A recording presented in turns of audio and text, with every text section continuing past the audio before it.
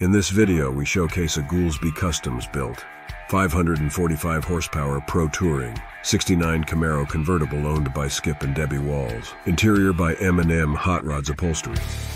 Recessed rear quarter gills and extended rockers. LS3 V8 engine from Mast Motorsports and Tremec T56 transmission.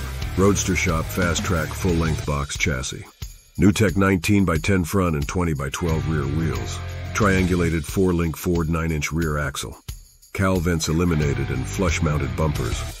Classic instruments, gauges, and vintage air AC system. Custom fit front and rear bumpers. Roadster Shop suspension geometry using C6 Corvette spindles, adjustable AFCO billet coilovers and 114-inch spline front sway bar. Nickel trim between the taillights extended the full width of the car. Baer six-piston caliper disc brakes.